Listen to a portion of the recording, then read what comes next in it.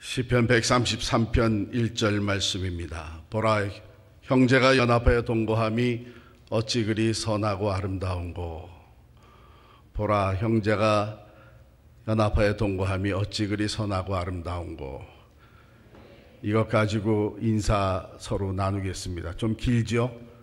그래서 그냥 다 잘라버리고 맨 마지막에 있는 말씀 어찌 그리 아름답소 우리 다 일어나셔서 일어나셔서 앞뒤 좌우에 계시는 거 한번 인사하겠습니다. 자리에서 일어나셔서 앞뒤 좌우에 계신 분들과 어찌 그리 아름답소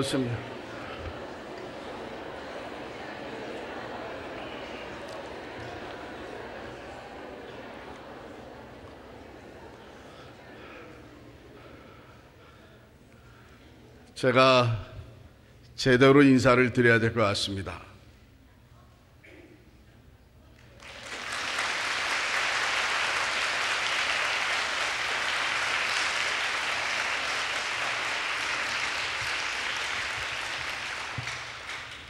저희 교회를 위해서 늘 기도해 주신데 얼마나 감사하고 또 힘이 되는지 모릅니다.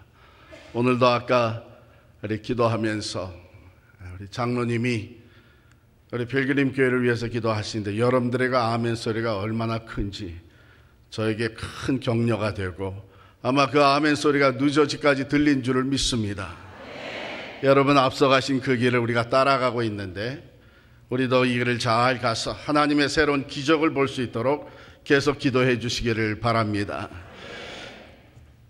집회 동안에 매일 새로운 인사법을 알려드리겠어요. 오늘은 어찌 그리 아름답소. 왜 아름다운지 아세요, 근데? 아, 지금 보니까 그왜 당연하지. 내가 그렇게 생겼으니까 아름답지. 그런 거. 보면 말이에요. 은혜를 사모하는 사람들의 모습은 참 아름답습니다. 예.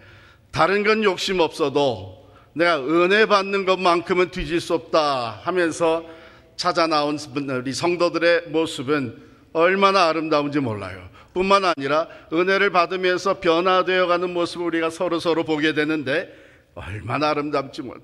무엇보다도 하나님께서 은혜를 사모해서 나온 한 사람 한 사람을 매우 귀하게 아름답게 보시는 줄을 믿습니다. 그래서 아름다운 거예요. 몰래 아름답게 생겼지만, 예. 제가 이번에 와서 이렇게 인사를 받는데, 예, 공항에서부터, 아, 목사님 얼마나 힘드세요. 우리가 늘 위해서 기도하고 있습니다. 또 식사하러 갔는데, 아, 목사님 얼마나 힘드세요. 우리가 정말 계속 기억하고 기도하고 있습니다. 감사하면서 한쪽으로는 조금 죄송했어요. 아, 이런 인사를 받으려면 몸무게가 확 줄어가지고 에? 아, 쓰러질랑 말랑 할 정도로 그래가지고 와야 이게 인사랑 맞는 건데 말이에요. 에? 아 이거 조금 죄송하더라고요. 아, 그렇다고 우리가 뭐 기도도 안 하고 금식도 안 하고 그런 거 이상해요. 저는 금식하고 나도 그 다음에 하루 이틀만 지나면은 갑절이나 더해지는 거예요. 하나님께서 저에게 주신 특별한 은혜가 어디서나 잘 자고 무엇이나 잘 먹습니다. 네. 그래서 사실 지금 시간이, 지금 시간이 동부 시간으로 하면 이게 몇 시예요, 지금? 벌써 11시 40분이에요. 예? 누저지 시간은 11시 40분이에요. 그런데 제가 비행기 타고 타자마자 자기 시작을 해가지고 내릴 때까지 화장실 한 번 갔다 오고 나서는 계속 잤어요. 그러니까 뭐 걱정 없습니다. 또 어디서 뭐든지 잘 먹으니까 지금 와서 점심 저녁 아주 뭐 곱빼기로 먹었어요. 그러니까 지금부터 한 대여섯 시간 설교하는 건 문제 없습니다. 아멘. 저 하나님은 한데요. 이렇게 걱정하고 근심하고 하는 일들이 계속 생기지만 또 새벽에 나가서 하나님께 기도하고 나면 또 하나님 평안을 주시고 확신을 주시고 두려워 말라 내가 너와 함께 합니다. 놀라지 말라 나는 내 하나님이 됩니다. 내가 너를 굳세게 하리라. 내가 참으로 너를 도와주리라. 내가 참으로 나의 의로운 오른손으로 너를 붙들리라. 할렐루야. 하나님께서 우리 고태영 목사님과 여러분 교회를 그렇게 붙들어 주신 줄을 믿습니다. 우리 가는 길 우리가 알지 못하지만 우리를 단련하신 후에는 내가 정금같이 나으리라. 여러분들의 그 믿음이 지난 몇 년 동안에 그 교단 관계 해소를 통한 단련을 통해서 정금과 같이 나오게 된 줄을 믿습니다. 마지막 때를 사는 그리스도인, 마지막 때를 사는 그리스도인. 베드로전서 4장 7절에 보면 만물의 마지막이 가까웠으니 이렇게 시작을 합니다. 예수님의 제자들이 마지막 때에 대해서 예수님께서 말씀하시기 시작하시니까 주의 임하심과 세상 끝에는 무슨 징조가 있사오리까 이렇게 물었어요. 징조를 봐야 되잖아요.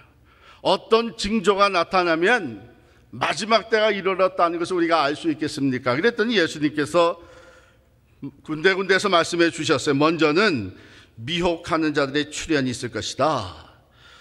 거짓 그리스도가 등장할 것이다. 마태복음 24장 5절에 보면 많은 사람이 내 이름으로 와서 이르되 나는 그리스도라 하여 많은 사람을 미혹해 하리라. 또한 난리와 소문, 아, 난리와 소문이 있을 것이라. 두 번째로는 난리와 난리의 소문을 듣는다 있습니다. 마태복음 24장 6절, 마가복음 13장 7절, 누가복음 21장 9절에 보면 난리와 난리 소문을 듣겠으나 너희는 삼가 두려워 말라. 이런 일이 있어야 하되 끝은 아니니라. 그렇게 말씀하셔요. 역사상 수많은 난리 소문들이 있어 왔습니다. 전쟁과 전염병과 지진 등 뿐만 아니라 전쟁이 있다고 얘기했습니다. 민족이 민족을 나라가 나라를 대적하여 일어나겠고 말씀하시면서 전쟁이 있음을 맞으면 전쟁이 계속되어 왔죠. 민족과 민족, 나라와 나라뿐만 아니라 마약과의 전쟁, 테러와의 전쟁, 가난과의 전쟁, 계속 전쟁이 이루어왔습니다. 그리고 기근과 지진과 천재 지변이 있겠다 그랬습니다. 너희가 소문을 듣겠으나 끝은 아직 아니니라. 이렇게 말씀하시면서 마가복음 13장 8절을 보면 이는 재난의 시작이라. 재난의 시작. 즉 마지막 징조의 서막이 열렸다는 표현입니다. 정말 천재 지변이 얼마나 계속되고 있고 또한 점점 심화되고 있는지 우리가 잘 알고 있잖아요. 제가 한번 찾아봤어요. 찾아봤더니 2011년 10월에 발표된 중앙일보에서 21세기 최악의 자연 재해 top 10 이렇게 실었더라고요. 21세기 지금 시작된 지 얼마 되셨, 됐어요? 예. 네. 17년 됐잖아요. 그죠? 근데 이게 발표가 2011년에 나온 거니까 한 10년 만에 21세기 10년 만에 있었던 그 10년 어간에 있었던 최악 21세기 최악의 자연 재해 첫 번째가 2010년에 있었던 IT 대지진입니다. 31만 6천 명이 사망했습니다. 두 번째가 2004년도에 있었던, 있었던 인도의 쓰나미입니다. 이 쓰나미는 인도네시아에서 터졌던 지진, 9.0 지진으로 인해서 생긴 쓰나미였는데 23만 명이 죽었어요. 세 번째는 2008년에 있었던 미얀마 사이클로 나르기스 대, 태풍입니다. 엄청난 태풍으로 말미암아 14만 6천 명이 죽었습니다. 네 번째는 2005년에 있었던 인도 카슈미리 지진인데 8만 6천 명이 죽었고 다섯 번째는 2008년에 있던 중국 수찬성 지진이 6만 9,197명의 생명을 앗아갔습니다. 여섯 번째 2010년에 있었던 러시아의 폭염으로 인해서 5만 6천 명이 죽었습니다. 일곱 번째 2003년도에 있었던 이란 지진으로 4만 3천 명이 죽었습니다. 여덟 번째 2003년도에 있었던 유럽 폭염으로 인해서 4만 명이 죽었습니다. 아홉 번째 2011년 일본 지진 또 해일로 인해서 1만 8,400명이 죽었습니다. 열 번째 2001년 인구 인도 구자라트 지, 에, 지진으로 말미암아 19,727명이 죽었어요. 제가 한번 이 10개 이 10개 사건의 사망자 수를 더해 봤더니 100만 명이 넘었어요. 100만 102만 4,324명이 죽었습니다. 여러분 상상이 가세요? 자연 재해로 인해서 10년 어간에 그것도 top 10만 뽑은 거예요. 100만 명이 넘는 사람들이 죽었습니다. 그뿐만 아니라 미국은 지상의 낙원이라고 얘기하고 있는 미국은 총기 비극의 나라라는 별명이 붙었습니다. 미국에서 총기 사건으로 일어나 죽는 사람들이 매일 95명이 죽습니다. 피살 또는 자살 또는 오발로 인해서 매일 95명이 죽는데 다 합쳐보면 연간 3만 5천 명이 총기 사건으로 죽는 거예요.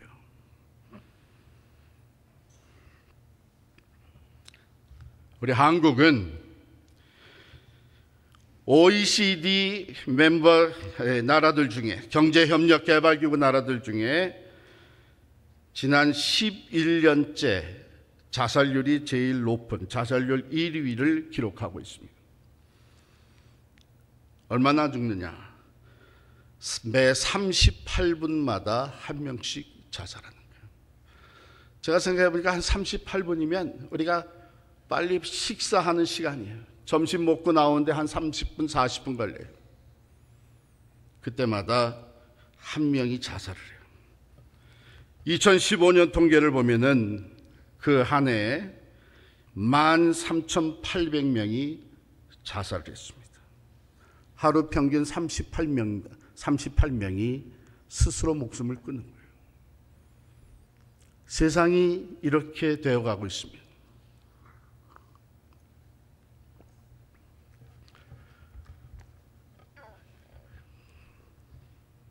뿐만 아니라 영적으로 어두워져 가고 있는 것을 우리가 다 알고 있습니다. 영적으로 점점 점점 점 타락하고 있고 기독교 국가라고 하는 이 미국이 다른 종교들은 다 포용한다고 하면서 다른 종교들에게는 굉장히 포용력을 보여주고 있으면서 오히려 기독교를 핍박하기 시작을 하고 있습니다. 동성애 하나님이 만드신 창조의 질서를 파괴하는 일입니다. 이 일로 말미암아 가정들이 파괴되고 있습니다. 동성애 이슈 때문에 우리가 교단을 떠났습니다. 그러나 이것은 동성애 이슈 때문에 떠난 것만은 아닙니다. 그것은 표면에 드러난 것이고 실제적으로 가장 더 큰 이슈는 뭐냐면 authority of Bible 성경의 권위가 이제는 인정되지 않고 있습니다. 세상에서요, 물론이죠. 세상에서는 그렇고 더더욱 기독교 국가의 기독교 Christian denomination 교단에서 성경의 권위가 인정되지 않기를 시작을 하고 있습니다. 과학이 사회과학이 또는 의, 학이 인간 철학이 트며 스며들면서 성경이 하나님의 말씀이라는 것을 인정하지 않기 시작을 하게 되었습니다.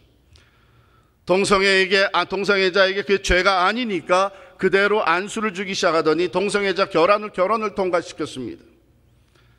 얼마 전에는 미국 장로교에서 두 번째로 크다는 교회 시카고에 있는 Fourth Presbyterian Church 5천 명 이상이 넘기는 교, 넘는 교회의 담임 목사가 여자분인데 그분이 publicly 인터뷰를 하면서 뭐라고 얘기했냐면 나는 꼭 기독교에만 구원이 있다고 믿지 않는다. 무슨 얘기예요? 이제는 종교 다원주의로 가는 거예요. 이상하지 않아요? 예수 믿는 사람들이 예수를 믿어서 구원받는다고 하는 기독교 교회의 지도자들이 하는 말이 뭐냐 하면 예수를 믿어야만 구원받는다고 생각하지 않는다. 그 교단의 46%의 목사들이 다른 종교에도 구원이 있다고 생각을 하는 거예요. 그러면 예수 믿는 거하고 그 말하고 하는 것은 얼마나 상충되는 거예요. 예수를 믿으면 예수님의 말씀을 받아들일 수 있어야 되잖아요. 예수님이 뭐라 그랬어요? 내가 곧 길이요 진리요 생명이니 나로 말미암지 않고는 아버지께로 올 자가 없느니라 그랬습니다. 하나님의 말씀은 분명히 다른 이름을 다른 구원받을 만한 이름을 주신 적이 없다 그랬습니다. 그 예수를 믿는다고 하면서 그 예수님의 말씀은 받아들이지 않는 거예요. 영적으로 얼마나 타락, 그것도 지금 종교개혁 500주년의 해를 우리가 지내고 있어요.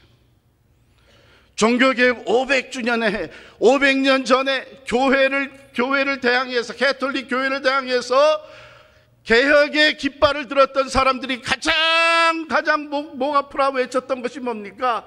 성경으로 돌아가야 된다. 오직 성경, back to the Bible, 성경으로 돌아가야 된다고 외쳤는데, 그래서 탄생한 개혁 교단, 개혁 교회, 대표적인 교단들이 이제는 스스로 성경을 부인하기 시작을 하고 있습니다. 저는 이번 종교개혁 500주년, 500주년의 해를 지나면서 얼마나, 얼마나 가슴이 아픈지 모릅니다. 그 개혁의 운동으로 말미암아 500년 전에 탄생한 교회들인데 계속해서 성경으로 돌아가는 개혁의 운동은 끊임없이 펼쳐져야 되는데 이제는 스스로 그 성경을 부인하는 행위를 하고 있는 영적으로 말할 수 없이 어두워져 가고 있습니다. 마지막 때를 우리는 살고 있습니다. 마지막 때를 살고 있어요. 이때 우리가 어떻게 살아야 될 것인가? 여러분 첫 번째 기억해야 될 것은 아무리 세상이 마지막 때가 가까워도 아무리 세상이 어두워지고 죄가 관영한다고 할지라도 아무리 사람들이 하나님을 등지고 하나님의 말씀을 배역하고 영적으로 어두워지고 죄가 관영한다고 할지라도 여전히 세상을 다스리시는 분은 하나님이신 것을 기억하시기를 바랍니다. 하나님이 창조주가 되시고 하나님이 역사의 주관자가 되시고 하나님이 생사화복을 주관하시며 하나님의 계획과 하나님의 선하신 뜻대로 역사를 이끌어 가셔서 마지막 때가 이를 때까지 하나님은 하나님의 구속 구원의 역사를 펼쳐 가실 줄을 믿습니다. 전에 스티비 원더 여러분 스티비 원더가 누군지 아세요? 네. 흑인 그 블라인드 소경 맹인 가수 있죠. I just call to say I love you. 여러분들도 많이 불렀을 거예요. 그 스티비 원더하고 또 골프의 그 신화적인 존재라고 하는 누구의 잭 니콜라스. 이 두 사람이 한 컨퍼런스에 참석을 했다가 같은 테이블에서 식사를 하게 된 거예요. 옆에 앉아가지고. 그러니까 자연히 골프 얘기가 나온 거예요. 근데 스티비 원더가 자기도 골프를 친다는 거예요. 그러니까 잭 니클러스가 깜짝 놀랐죠. 아, 미안하지만 당신은 앞을 못 봤는데 어떻게 골프를 치느냐. 아, 우리 내 캐디가 도와준다. 내 캐디가 티샷을 할 수 있도록 딱 셋업을 해주고 내 포지션을 잡아준 후에 딱 뛰어내려가 가지고서는 소리를 치면 그 소리가 나는 쪽으로 해서 내가 딱 친다는 거예요. 그러면 캐디가 또 그 볼을 찾아가지고서는 이제 페어웨이에서 필드에서 칠 수 있도록 포지션을 잡아주고 또 막 뛰어내려가서 소리를 지르면 그 소리 나는 쪽으로 딱 친다는 거예요. 아, 잭 니콜라스가 너무 의아한 거예요. 그러면은 그린에 올라가가지고 퍼팅은 어떻게 하느냐? 아, 퍼팅도 퍼팅을 할 수 있도록 내 캐디가 딱 포지션을 잡아준 후에 쭈그리고 앉아가지고 구멍에서 소리를 낸다는 거예요. 그러면 그 구멍 소리 나는 쪽으로 턱 쳐줘. 잭 니콜라스가 깜짝 놀래가지고, 이야, 그러면 언제 한번 나하고 한번 같이 치자. 그랬더니 스티비 원더가, 어, of course. 근데 사람들이 내 말을 믿지 않기 때문에 나는 내기를 안 하면 안 친다. 잭 하는 말이, 그 얼마 내기 할까? 한 홀당 만불 내기를 하자. 그러니까 잭 니콜라스가 You know that's serious money. 그렇게 많이 내게 해도 되겠, 괜찮겠냐? 그랬더니 of course 하자는 거예요. 언제 칠까? 잭 니콜라스가 물었더니 어느 날 밤이든 괜찮다. 그랬대.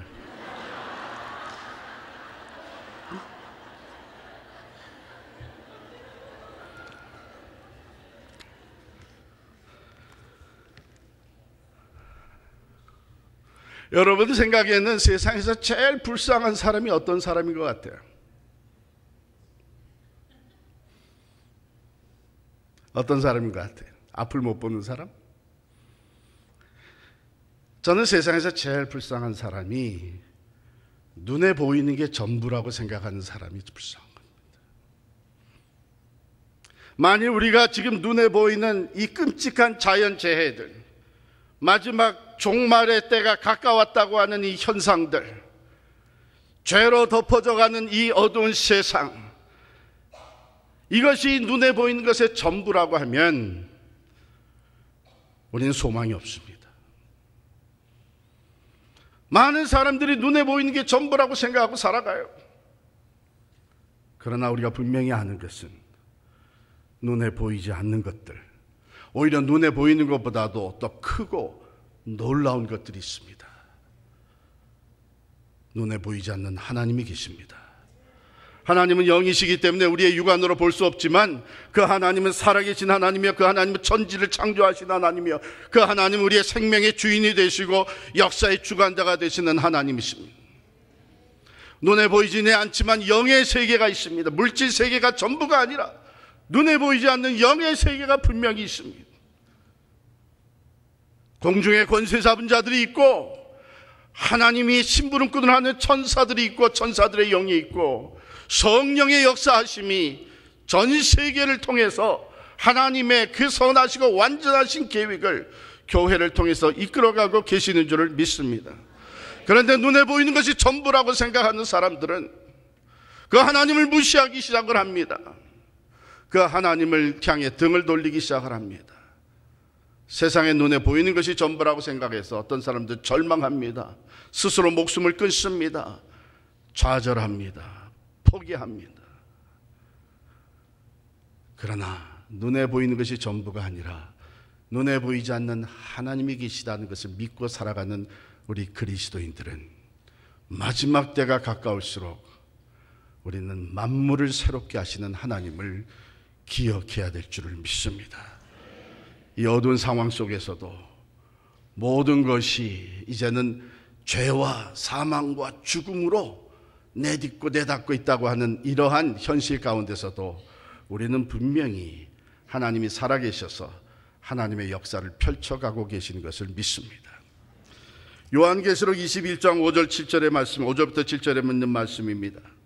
보좌에 앉으시니가 이르시되 보라 내가 만물을 새롭게 하노라 하시고 또 이르시되 이 말은 신실하고 참되니 기록하라 하시고 또 내게 말씀하시되 이루었도다. 나는 알파와 오메가요 처음과 마지막이라 내가 생명수 샘물을 목마른 자에게 값없이 주리니 이기는 자는 이것들을 상속으로 받으리라.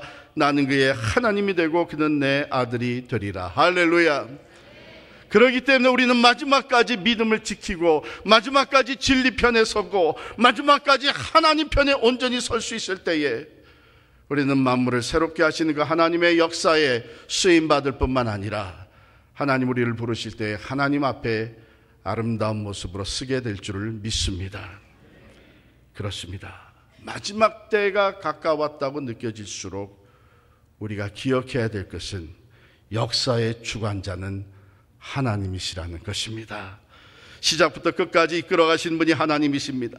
그분이야말로 만물의 마지막 순간까지 변함없이 이루어 가시는 하나님의 역사를 지금도 진행하고 계십니다. 그게 뭐예요? 만물을 새롭게 하십니다.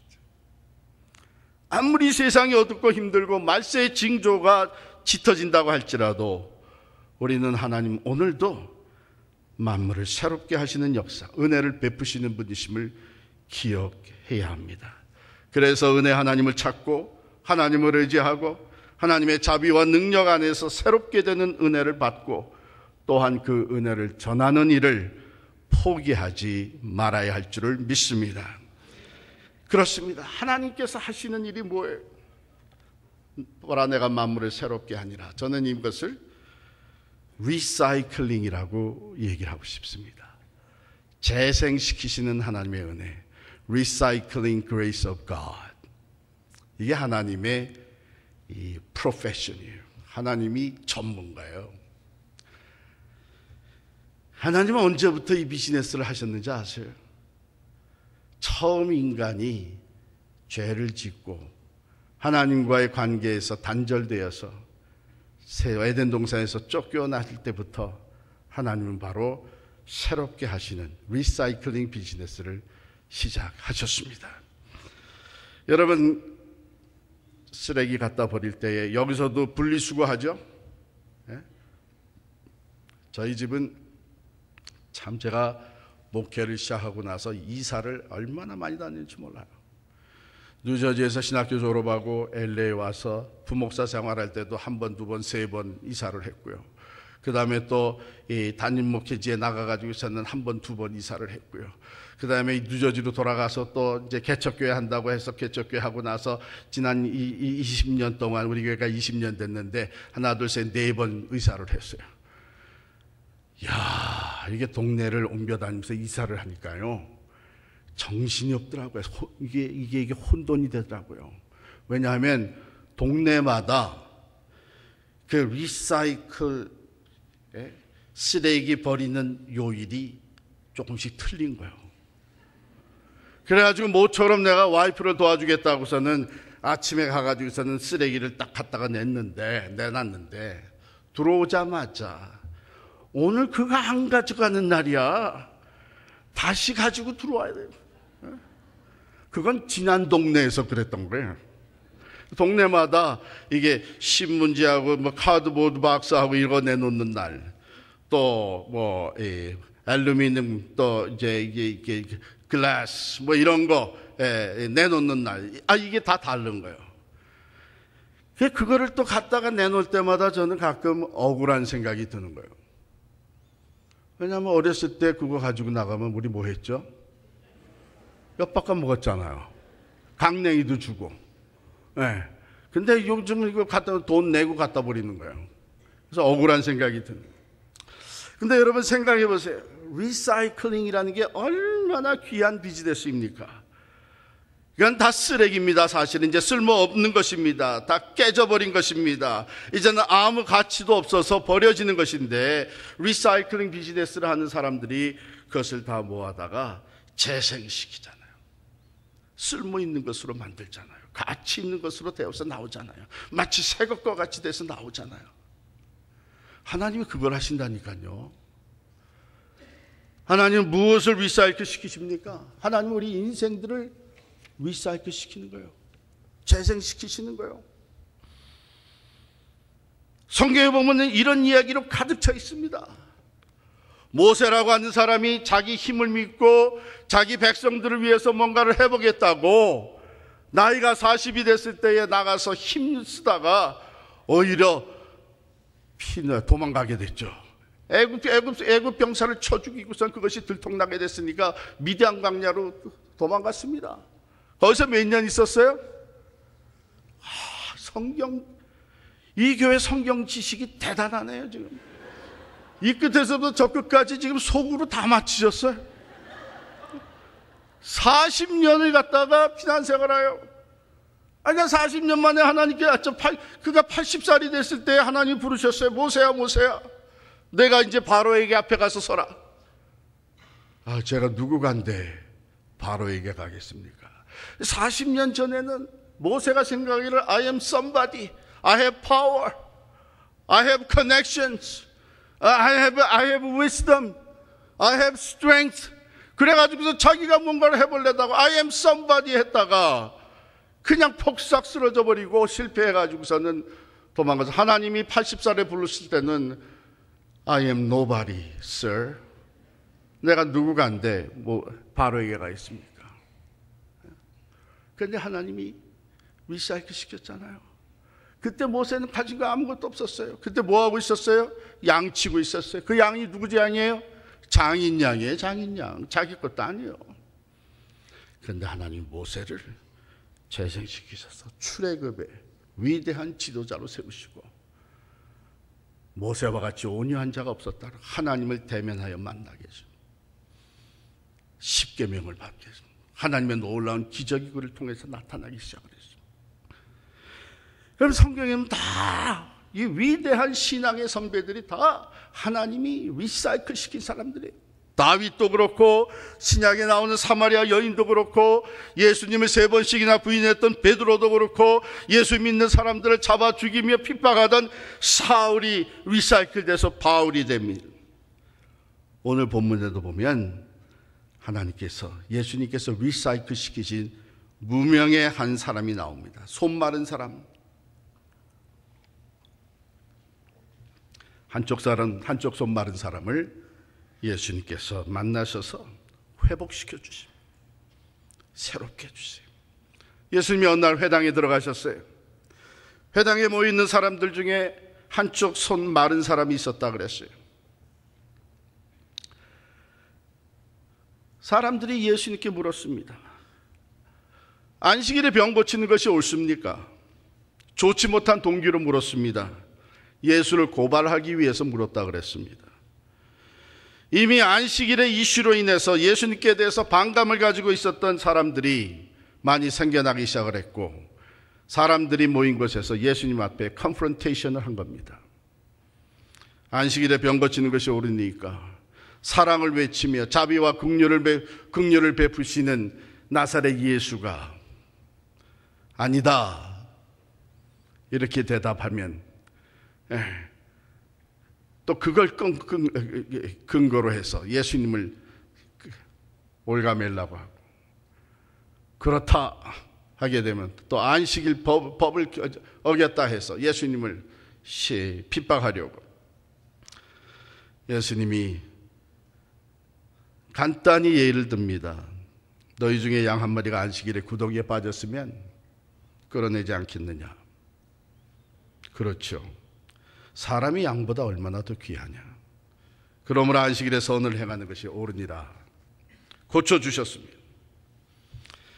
이 일로 인하여 바리새인들이 나가서 예수를 잡아 죽일 방도를 의논하게 되었다고 성경 기록하고 있습니다. 예수님이 몰랐을까요? 그 한쪽 손 마른 사람을 고쳐주면 그것이 근거로 근거가 되어서 죄목이 되어 가지고 핍박을 받게 되고 어려움을 당하게 될 것이라는 걸 모르셨을까요? 다 아시면서도 그 한쪽 손 마른 사람을 고쳐 주셨습니다. 왜냐하면 예수님은 온 천하보다도 한 영혼을 소중하게 여기십니다. 한 사람 한 사람의 구원과 회복에 지대한 관심을 가지고 계십니다. 그 한 사람을 회복시키시고 구원에 이르게 하시기 위해서는 자신이 스스로 미움과 핍박을 받는 것을 두려워하지 않으셨습니다. 그 예수님은 오늘도 이 자리에 찾아와 계신 줄을 믿습니다. 우리 한 사람 한 사람을 소중히 여기시고 우리를 리사이클 시키시기를 원하시는 주님이 오늘 이 자리에 우리와 함께 계셔서 우리에게 주님의 음성을 들려주시는 줄을 믿습니다. 그 예수님에 대해서 일찍이 이사야 선지자는 이렇게 예언하였습니다. 상한 갈대를 꺾지 아니하며 꺼져가는 심지를 끄지 아니하기를 심판하여 이길 때까지 하리니 오늘 본문에 나온 이 말씀 이사야 42장 3절의 말씀을 인용한 것이죠. 그는 나 다투지도 아니하며 들리지도 아니하리니 아무도 길에서 그 소리를 듣지 못하리라. 상한 갈대를 꺾지 아니하며 꺼져가는 심지를 끄지 아니하기를 심판하여 이길 때까지 하리니 이방들이 그의 이름을 바라리라. 그에게 소망을 두리라. 상한 갈대를 꺾지 않는다. 여러분 갈대는 팔레스타인 땅 갈릴리 호숫가에서 흔히 볼 수 있는 것입니다. 요단강가에서 흔히 보는 것이 갈대입니다. 갈대는 속이 비어 있습니다. 매우 약합니다. 그래서 미풍에도 흔들립니다. 바람이 좀 세게 불면 꺾어집니다 거친 물결에 쉽게 넘어갑니다.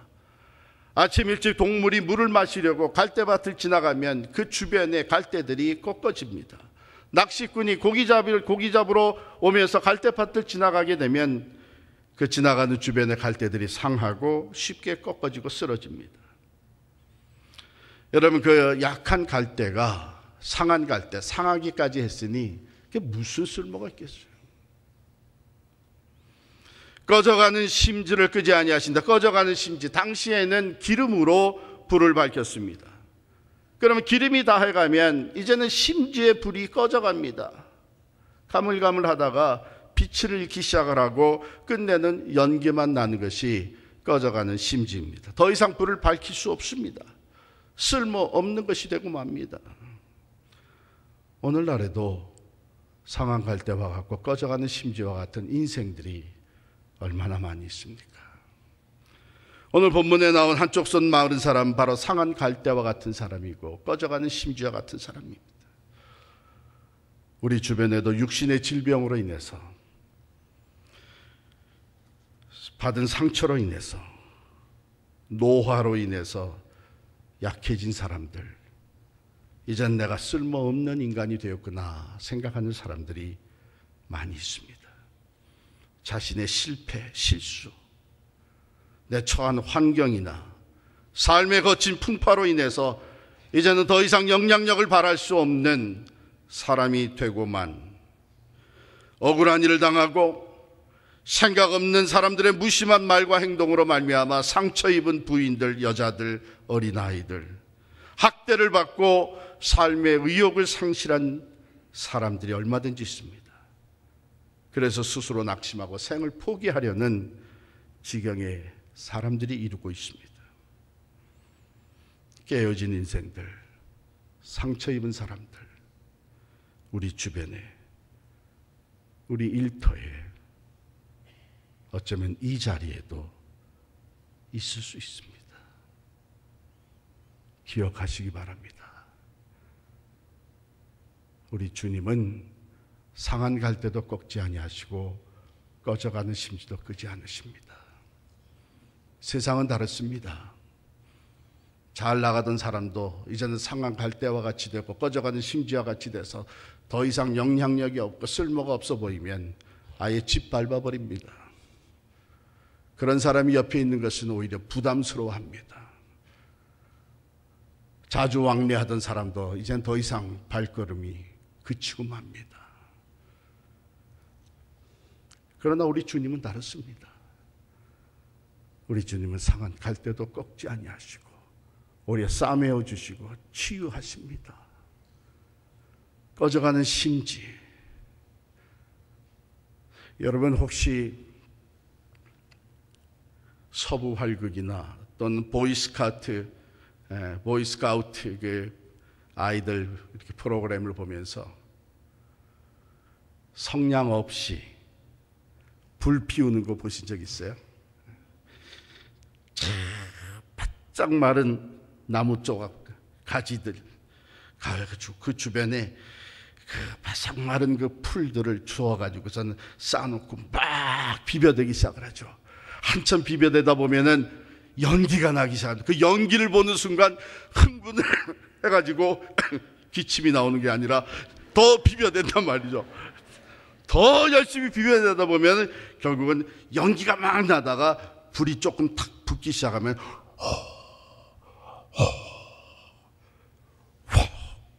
하고 불이 붙습니다. 그와 마찬가지로 꺼져가는 심지와 같은 우리들, 우리 주님께서는 성령의 바람을 불게 하셔서 우리의 영혼을 소생시켜 주시고 우리로 하여금 새로운 인생을 살아갈 수 있도록 회복시켜 주시는 줄 믿습니다. 에스겔 골짜기에 바짝 마른 뼈들이지만은 하나님의 말씀과 성령의 기운이 불어들어서 일어나 새로운 큰 군대를 이룬 것 같이 우리의 삶에 새로운 의욕과 소망과 확신이 넘쳐나도록 회복시켜 주시고 리사이클링 시켜 주시는 분이 바로 우리 주님이신 줄을 믿습니다. 오늘 본문이 그것을 보여주고 있잖아요. 예수님께서 그 한쪽 손 마른 사람 아무 영향력도 없고 사람들에게 오히려 손가락질 당하면서 쓸모가 있다면은 이 사람을 근거로 해서 예수님을 한번 잡아볼까?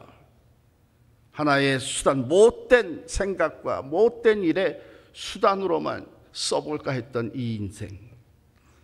예수님께서는 그를 고쳐주시되 자신이 그로 인해서 그 일로 인해서 핍박과 고통을 당하게 되실 것을 아시면서도 이 상한 갈때 꺼져가는 심지와 같은 이 한쪽 손 마른 사람을 고쳐주셨습니다. 예수님이 이 땅에 오셔서 하신 일이 바로 그러한 일들 아닙니까? 문둥병자를 보시고 고쳐주셨어요. 그런데 이 문둥병자를 고쳐주실 때는 일부러 손을 대셨다 그랬어요. 아니, 얼마든지 말씀으로도 그냥 고치실 수 있는데 왜 일부러 손을 대셨을까? 그렇잖아요? 그에게 손을 대시며 그, 그, 그 말씀하시되 깨끗해질 것이다. 예수님은요, 우리의 아픔과 우리의 고통을 아시되 우리의 가장 깊은 것까지도 만져주시는 분이십니다. 여러분 당시의 문득병은 불치의 병이었습니다. 또 부정한 병이었습니다. 그렇기 때문에 성읍 내에 성 내에 들어와 살지를 못했습니다. 성 밖에 거해야 돼요. 낮에 성문이 열리고 사람들이 오고 갈 때에 문둥병자들은 자기 자신이 부정하다는 것을 일부러라도 표현을 해야 됐습니다. unclean, unclean, 나는 부정하다. 부정. 왜요? 그래서 다른 사람들과 접촉이 되지 아니하도록 다른 사람들과 혹이라도 액시던틀이라도 접촉이 되게 되면 그 사람도 부정해지기 때문에 부정한 사람으로서 또한 정결식을 다시 해야 돼요. 여러분 이러한 상황에 빠지게 되면 사람들이 멀어지기 시작을 합니다. 거리를 두기 시작을 합니다. 사랑하는 가족들도 그를 집안에 들일 수가 없습니다. 성 밖에 내, 내, 내쳐 내야 됩니다. 가장 고통스러운 것은 뭐냐면 이러한 절망적인 병에 어려움에 처했을 때에 하나님께로 나갈 수 있어야 되는데 부정한 병이기 때문에 하나님 앞에 나아가 제사 드릴 수도 없었습니다.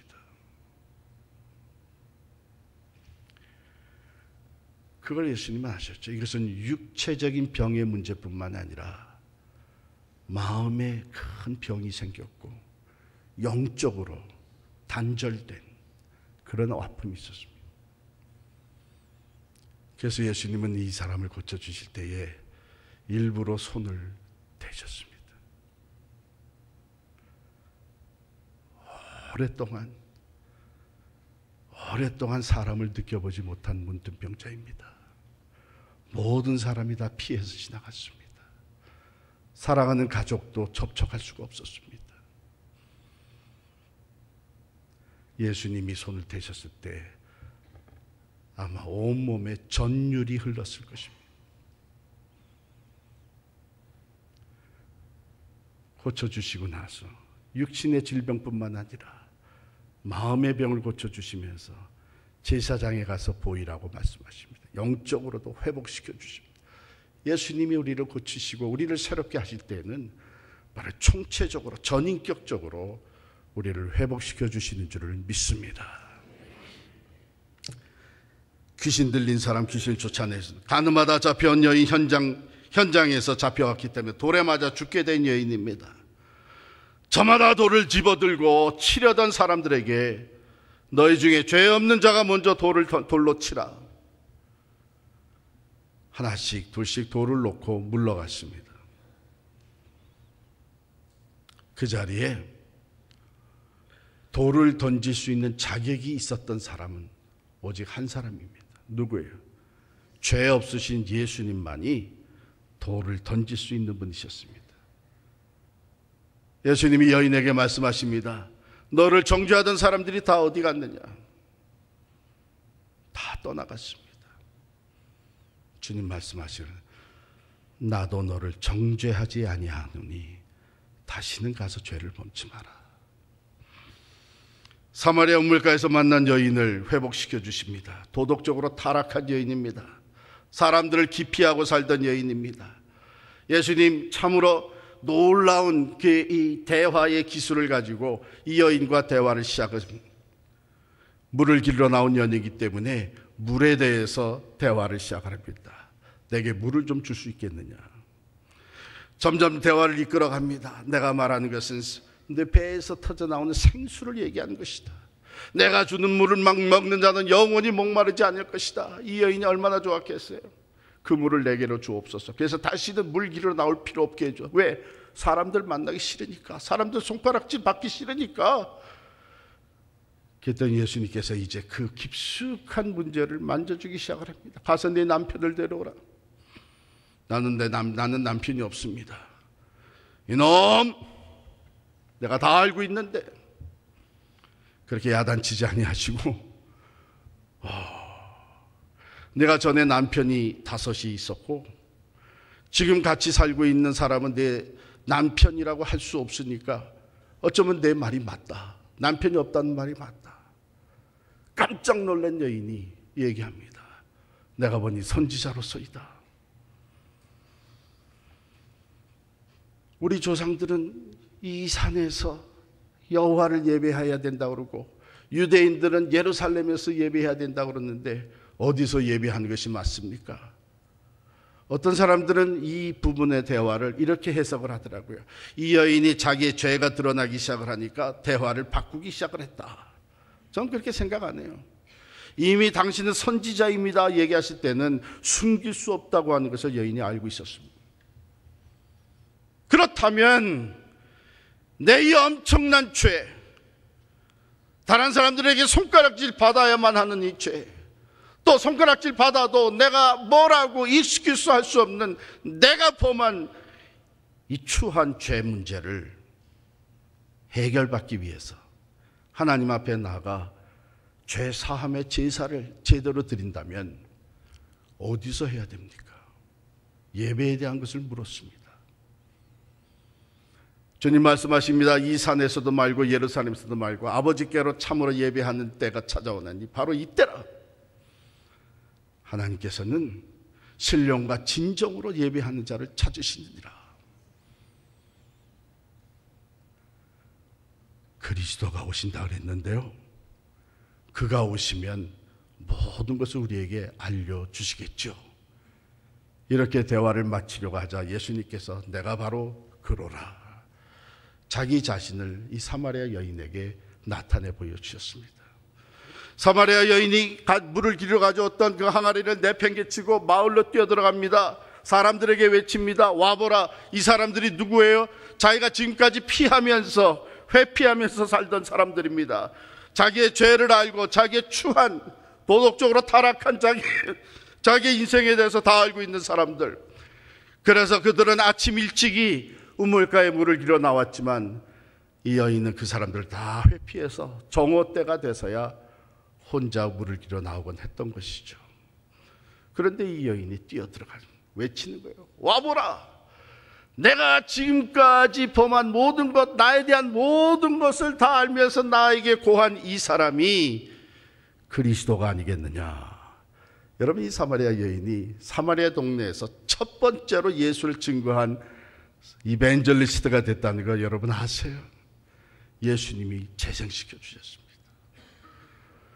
야, 여러분 하나님의 은혜로 재생된 사람들은 그 다음에는 삶이 바뀌더라고요. 그 전에는 그저 자기 죄를 누가 알까봐 숨기면서 살던 사람들이 7, 800명, 1000명 된 사람들 앞에 나와가지고 여러분 나는 과거에 이런 사람이었습니다. 이제는 부끄러움이 없는 거예요. 부끄러울 게 없는 거예요. 왜? 예수님이 내 죄를 다 사해 주시고 의롭다함을 얻게 되었기 때문에 새로운 인생이 되었기 때문에 재생시켜 주신 은혜 안에서 이제는 감출 것이 하나도 없게 되고 이것이 하나님이 우리에게 베풀어 주시는 recycling grace입니다.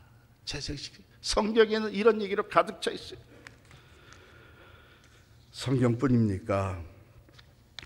우리 현실 속에서도 이런 사람들이 얼마나 많은지만 그럴 수밖에요. 하나님은 지금도 계속해서 재생시키시는 은혜를 베풀고 계신 만물을 새롭게 하시고 우리 인생들을 새롭게 하시는 하나님의 은혜의 역사가 오늘도 계속되어지고 이 밤에도 우리에게 그 은혜가 임하는 줄을 믿습니다.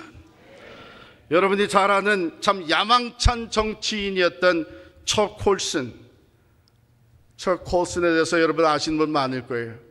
미국의 제37대 대통령이었던 루차드 닉슨, 닉슨 대통령의 특별 보좌관이었습니다. 이 사람이. 그런데 이 사람이 별명이 뭐냐면 소위 말하는 그 해쳇맨이었어요. 해쳇맨. 해쳇맨이라는 게 뭐예요? 꾸준히를 도맡아 하는 사람이에요. 꾸준히를 도맡아 하는 사람 굉장히 좋게 들리죠? 꾸준히를 도맡아 하는 사람. 그것을 다른 말로 바꾸, 바꾸면은 이, 이 사람들이 한 사람들은 뭐냐면 예, 살인 청부업자들이에요. 살인 청부. 그러니까 리처 대터, 닉슨 대통령을 이 보좌하면서 그 대통령에게 거슬리 있는 사람은 가차없이 잘라낸 사람이 바로 이 초콜슨이었습니다. 그래서 붙은 별명이 해쳇맨이에요. 살인 청부업자예요. 한 번 이 초콜슨의 눈에 걸, 걸, 거스르게 되면 가차없이 잘라버리는 거예요. 대통령에게 도움이 되는 그런 특별 보좌관이었는데 대통령에게 조금이라도 걸림돌이 되는 사람은 이 사람이 앞서서 궂은일을 다 맡아서 제거해 버렸습니다. 그런데 결국 Watergate 사건이 터졌습니다. Watergate 사건으로 말미암아 척홀슨이 감옥에 가게 됐습니다. 거기에 말려들었던 거죠.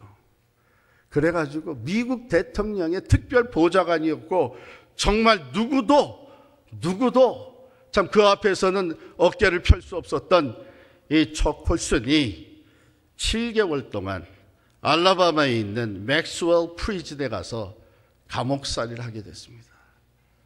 그런데 놀라운 것은 이 척 콜슨을 위해서 그가 예수 믿고 변하여 새 사람이 될 수 있기 위해서 중보기도 했던 상원 의원들, 하원 의원들이 있었던 것입니다. 1973년에 척 콜슨이 예수를 영접했습니다. 예수를 영접해서 새 사람이 됐습니다.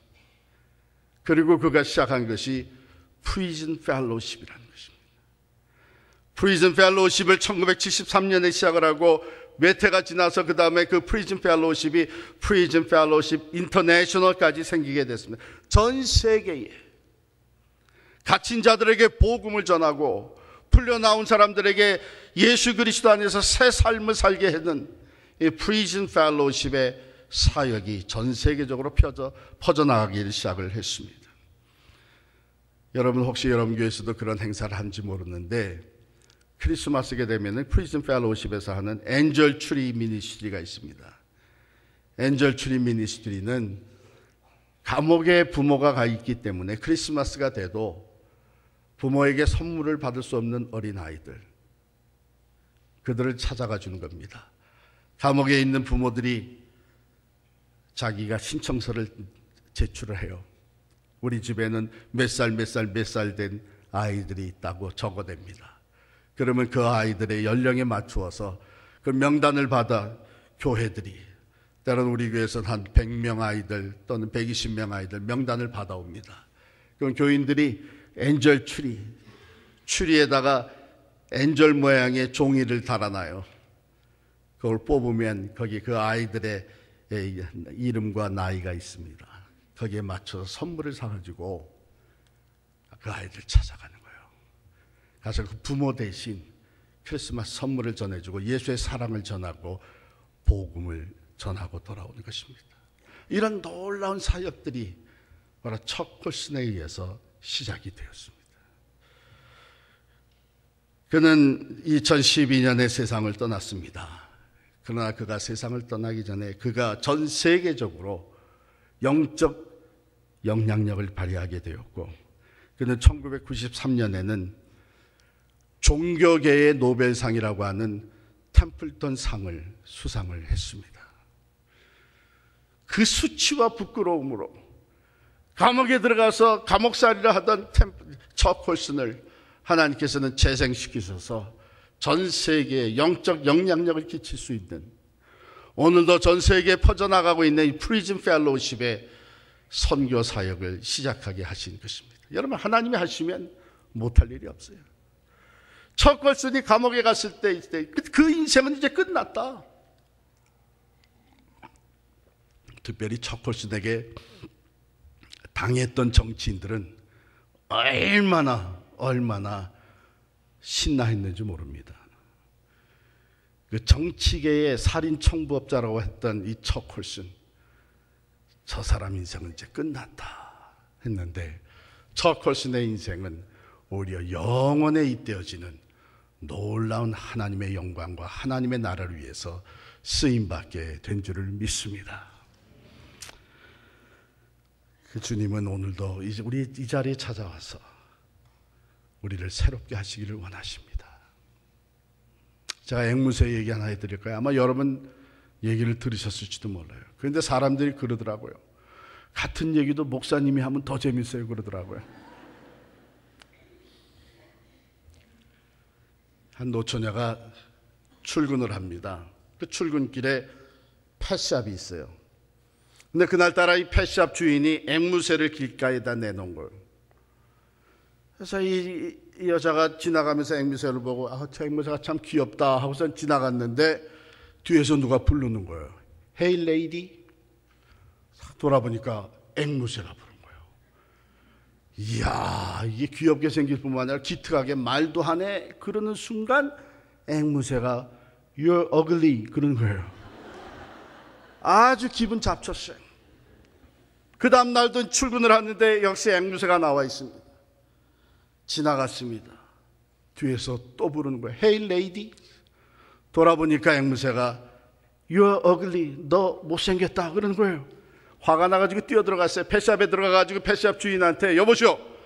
아니 앵무새에게 말을 가르쳐 주려면 저 점잖은 말을 가르쳐야지. 지나가는 사람에게 You're ugly가 뭡니까? 어, 정말 그랬습니까? 아 정말요? 아우 죄송합니다. 죄송합니다. 제가 버릇을 단단히 고쳐놓겠습니다. 그 다음날 출근하는데 앵무새가 나와 있는 거예요. 지나갔습니다. 지나갔지만은 신경은 이 뒤에 다가 있는 거예요.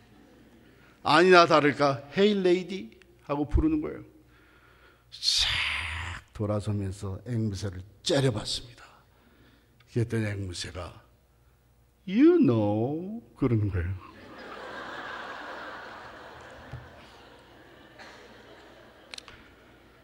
말 안 해도 알지 그러는 거예요.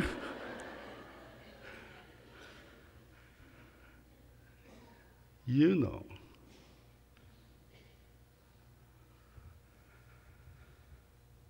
하나님이 알고 여러분이 압니다.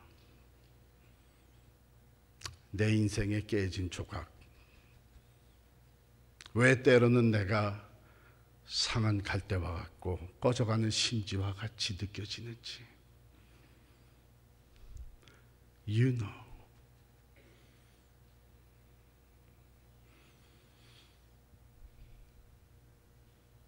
내 개인의 문제 또는 개인의 실패, 내 가정의 아픔, 남에게 말할 수 없는 자녀의 문제, 부부 사이에 받은 상처, 교회 앞에 더 이상 나설 수 없는 부끄러운 내 모습, 누가 알까봐 꼭 감추고 다녔던 내 안의 상처, 우리 가정의 수치, you know. 그런데 하나님은 이미 알고 계십니다.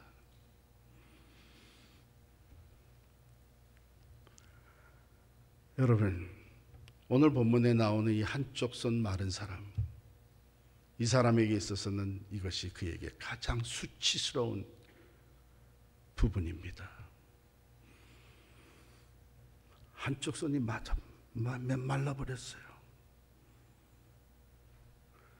그걸 얼마나 감추면서 생활했겠습니까? 괜찮은 것처럼 옷을 지어 만들어서 입기도 했겠죠. 거동 하나하나 할 때마다 그것이 혹이라도 두드러지게 보여질까봐 조심스럽게 행동을 했겠죠. 어떻게 해서든지 감추고 싶었던 것이 바로 그 손이었을 것입니다.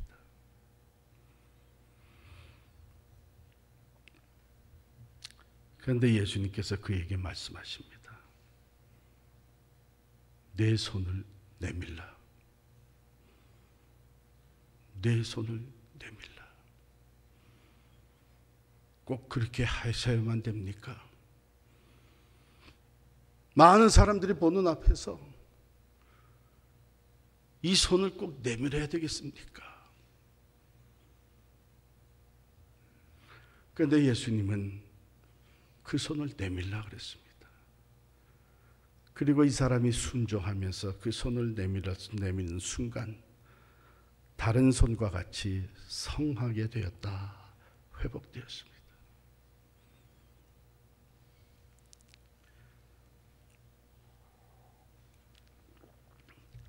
새롭게 되고 되지 못하는 것은 믿음의 문제입니다.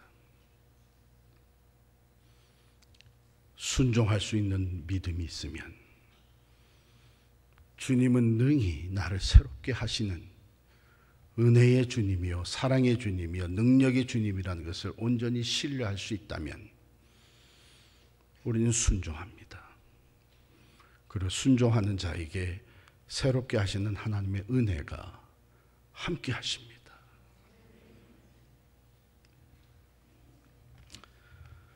마지막으로 제가 좋아하는 이야기를 들려드리겠습니다. 프레드 크레닥이라고 하는 신학교 교수가 계십니다. 설교학 교수예요. 설교학을 가르치는데 이분은 narrative 이야기식 설교학의 대가입니다.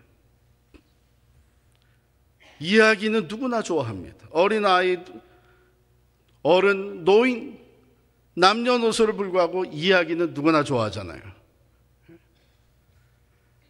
그래서 이야기식으로 설교를 하면 누구나 관심 있게 들어요.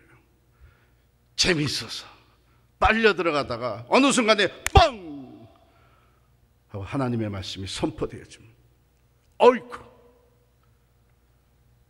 하나님의 메시지가 강하게 임팩트를 주면서 우리의 가슴에 파고드는 것이죠. 바로 그런 이야기식 설교가 이 설교를 가르치는 분이 바로 프레드 크레닥입니다. 그래서 저는 그분의 책을 좋아했고 그분의 테이프, 카세트 테이프, 요즘 generation 카세트 테이프 그러면 그 뭐냐 그럴 거예요. 이렇게 즐겨 들었습니다. 근데 크래독 교수가 한 얘기예요. 이 크래독 교수 부부가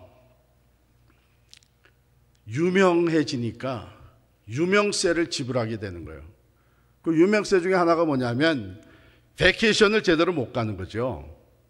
사람들이 모여 있는 그 관광지에 가게 되면 알아보는 사람들이 있어가지고 private한 시간을 가질 수가 없는 거예요. 그러니까 vacation을 가도 vacation이 안 되니까 한 해에는 이 크래독 교수 부부가 서로 의논을 했습니다. 우리 여보, 우리 이번에는 말이지. 그래서 우리를 알아볼 수 있는 사람이 아무도 없는 곳에 가서 좀 며칠 쉬다 오자.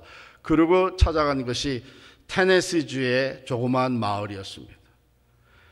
그래서 레저베이션 한 호텔에 체크인을 하고 그 다음에 나와가지고서는 그 호텔 가까이 있는 동네 식당에 들어갔습니다. 들어가서 음식을 오다를 했어요. 그때까지 알아보는 사람이 아무도 없었습니다. 둘이 앉아가지고 아 이번에 우리가 정말 오붓하게 잘 며칠 쉬다 갈 수 있게 되겠다. 그런데 한 노인이 식당 문을 딱 열고 들어와서 둘러보더니 동네에서 못 보던 사람이 있거든. 크레다 교수 부부에게 찾아왔습니다.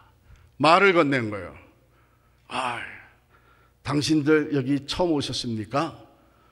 아, 그러니까 그러다 교수가 Yes, we are just visiting. 우리 그냥 방문 온 사람들입니다. 그래 노인이 그 다음에 물어본 거야. So, uh, what do you do for living? 그럼 당신 뭐 하는 사람입니까? 그래도 교수가 이제 머리가 착 돌아가기 시작하는 거예요. 내가 교수면서 또 목사인데 교수라 그러게 되면은 그 다음엔 뭐, 뭐 가르치느냐 이러면서 얘기가 길어질 것 같아서 그 다음에는 뭐라 그랬나? I'm a pastor. 목사라 그런 거예요. 왜냐하면 사람들이 목사가 주변에 있는 거 안 좋아하거든요. 아, 저도 그거 잘 알아요. 제가 아까 이사 많이 다녔다 그랬죠. 이사 갈 때마다 새로운 이발소를 찾아가야 됩니다. 이발소에 가면요, 남자들이 얘기를 참 많이 해요. 아마 미용소에서 여자들이 얘기하는 것보다 더 많이 할 거예요. 그리고 얘기하는 거 다 들어보면 전문가라. 정치 전문가, 스포츠 전문가, 이번에 우리 국가대표팀은 왜 걔를 감독으로 세워가지고 아니 명단과 이선 얘가 들어가고 얘가 빠지고 그래야 되는데 뭐 전략을 그걸 전략이라고 해서 그러니까 이번에 겨우 꽤 턱걸이 해가지고 그것도 자기 힘이 아니라 다른 다른 나라의 덕으로 그냥 월드컵 진출하게 되고 뭐 이러면서 얘기가 퍼져가면 다 경제 전문가 정치 전문가 뭐다 전문가식으로 얘기를 하려니까 말이 굉장히 많아지는 거예요. 근데 여러분 이발사가 처음 온 고객을 머리를 깎아줄 때에 머리를 깎아주기 시작하고 한 3, 4분 지나게 되면 반드시 물어보는 질문이 있습니다. 선생님 뭐 하시는 분이십니까? 저도 새로 찾아갔더니 물어보더라고요. 그래서 솔직히 대답을 했죠. 저는 교회 목사입니다. 그랬더니 갑자기 주변이 조용해지더라고요. 어. 그래서 이제 알았죠. 야, 사람들이 목사가 옆에 있는 거 안 좋아하는구나. 크레다 교수가 I'm a preacher. 난 목사라고 얘기를 한 거예요. 그 노인이 갈 줄 알았는데 가기는 그냥 의자를 하나 끌어다가 앉, 앉는 거예요. 내가 내가 목사 얘기 하나 해줄까? 그러고서는 앉아서 얘기를 하는데 자기 얘기를 하는 거라. 자기는 어렸을 때에 유보가로 태어나서 자랐다는 거예요. 그러니까 아버지가 누군지를 모르는 거예요. 엘레제름의 차일드로 태어난 거죠. 요즘도 그런 일이 있으면은 그 동네에서 그게 가습거리가 됐는데 그땐 더 했던 거죠. 그래서 자기는 길을 갈 때 항상 머리를 고개를 숙이고 다녔다니 왜 사람들이 다 자기의 손가락질하는 것 같아서 초등학교 다니면서도 친구가 없었다는 겁니다. 사람들이 모여 있는 것은 죽어도 가기 싫었다는 거예요. 그리고 자기가 가장 듣기 싫어하는 질문이 너희 아버지는 누구냐? 넌 누구 아들이냐? 그 질문을 받으면 죽을 것만 같았다는 것이죠. 초등학교 5학년이 될 때는 어린 마음에 내가 왜 살아야 되나 그런 생각까지 하게 됐다는 겁니다. 그러다 어느 날 그 동네에 있는 교회에 새로운 목사님이 오셨는데 그 목사님이 설교를 아주 잘하신다는 거예요. 그 소문이 어른들에 의해서 퍼져나가기 시작을 하는데 자기 마음에도 내가 교회 가서 그 목사님 설교를 들었으면, 들어봤으면 하는 소원이 생겼다는 겁니다. 그런데 교회 가면 사람들이 많으니까 용기를 내지 못하고 있는데 계속 소문이 퍼지 너무나 목사님 뭐 설교가 좋다고 그래서 용기를 내서 교회 가기로 했습니다. 가되 예배 시작한 지 한 후 5분 있다가 들어가고 그 다음에 축도 끝나기 전, 축도 하기 전에 나오고. 요즘도 그런 사람들이 있더라고요. 네. 갔어요. 그때는 정말 좋은 거예요. 자기 마음에도 목사님 설교가 너무 좋아서 그 다음 주일에 또 갔다는 거예요. 그 다음 주일에 또 갔다는 거예요. 세 번째 갔을 때는 어른들을 따라가지고서는 예배 드리면서 설교 들으면서도 아멘, 아멘, 할렐루야, praise the Lord. 그리고 예배를 드리다 보니까 벌써 축도까지 다 끝난 거예요. 아이고. 깜짝 일어나서 고개를 푹 숙이고 사람들 틈에 끼어가지고 한 발자국 한 발자국 나오는데 갑자기 어느 큰 손이 자기 어깨를 턱 잡더라는 거라. 그래서 고개를 들어보니까 바로 그 설교하신 목사님이 자기 어깨를 잡고 자기를 내려다보는 거예요. 깜짝 놀랐다는 거예요. 근데 그 순간 그 목사님이 자기가 가장 듣기 싫어하는 질문을 자기에게 하셨다는 거예요. 넌 누구 집 아들이냐? 너희 아버지가 누구냐? 자기 얼굴이 빨개지고 가슴이 막 파운딩을 하는데 뛰는데 도망가고 싶지만 목사님이 어깨를 잡고 있고 앞뒤에 사람들이 딱 서 있어 가지고 꼼짝 못 하고 있는데 그때 자기가 생전 들어보지 못한 말씀을 목사님이 하셨다는 거예요. 나는 내 아버지가 누군지 알아. 닮은 데가 있어. 내 아버지는 내 아버지는 하나님이야. 그리고 너는 하나님의 아들이야.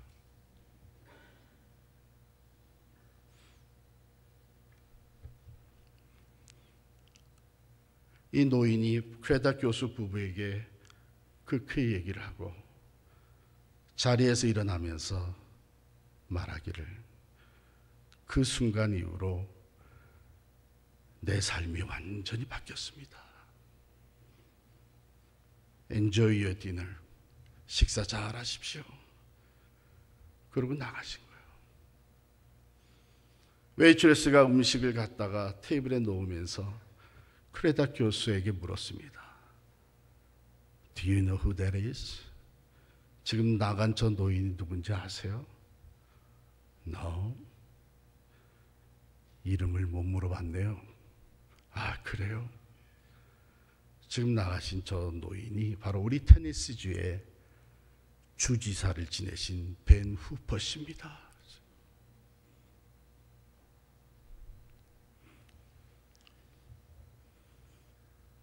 그 테네스주의 조그만 마을에 한 목사님이 어른들 틈에 끼어서 예배를 드리는 어린 아이를 보면서 기특하다 생각이 들었죠. 예배가 끝난 다음에 교회의 리더들에게 물었죠. 도대체 저 아이가 누구요? 자초지정을 다 듣게 된 목사님. 내가 저 아이에게 꼭 이 말을 들려줘야 되겠다. 작정을 하고 계시다가 그날 예배 후에 일부러 그 아이를 찾아가서 그 아이 어깨를 잡고 자기를 쳐다보는 어린 벤 후퍼에게 말씀을 주셨죠. 내 아버지는 하나님이야. 하나님이 내 아버지고 너는 하나님의 형상대로 지음받은 하나님의 아들이야.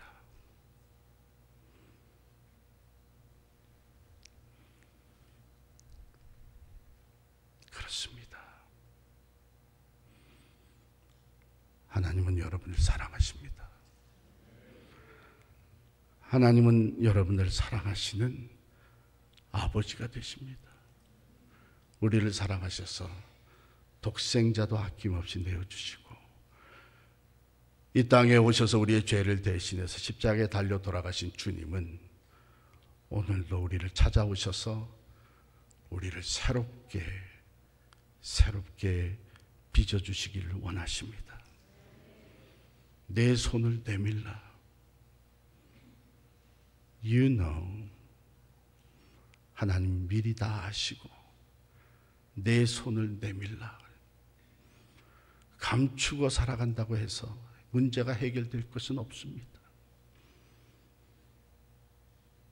저는 이런 생각을 해봤어요. 이 한쪽 손 마른 사람이 예수님께서 내 손을 내밀라 그랬을 때에 이 손 마른 쪽, 마른 손은 부끄럽고 수치스러우니까 이거는 그냥 놔두고 성한 손을 내밀었으면 고쳐졌을까?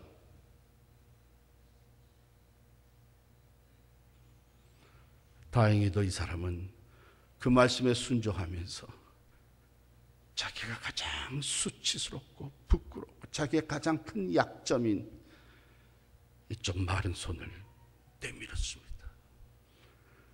그 순간 그 손이 성하게 되었습니다. 오늘 저녁 주님 앞에 내려놓으실 수 있기를 바랍니다. 주님이 만져주시기를 원하십니다. 고쳐주시기를 원하십니다. 상한 갈 때도 꺾지 아니하시고 꺼져가는 심지도 끄지 아니하신 주님께서 내 손을 내밀라고 말씀하실 때에 주여 내가 순종합니다. 주여 내 손을 내밉니다. 주여 내 손을 붙잡아 주시옵 고쳐 주시옵소서. 그것이 여러분 개인의 문제가 될 수도 개인의 상처가 될 수도 있고 여러분 자녀의 문제가 될 수도 있고 여러분 가정의 문제가 될 수도 있고 무엇이든지 여러분이 아시고 하나님이 아십니다. 믿음으로 순종하고 주님 앞에 내 인생에 깨어진 문제, 수치스러운 부분, 감추고 싶어서 지금까지 혼자서 끌어안고 살아온 이 모든 것들 결혼 문제, 부부 문제, 자녀 문제, 사회에서 실패하고 신앙인으로서 부끄러워진 내 모습, 지도자로서 실패한 모습, 깨진 내 인생의 조각을 주님 앞에 그대로 내려놓을 때에 주님께서는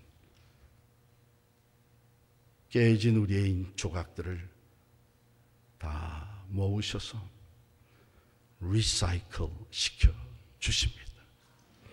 새 것이 되게 하십니다. 가치 있는 인생으로 변화시켜 주실 줄을 믿습니다. 이 저녁이 그런 저녁이 될 수 있기를 바랍니다. 주님, 신실하신 재생 사업가이신 우리 주님께서 우리를 고통 가운데로 몰고 가시지 않습니다.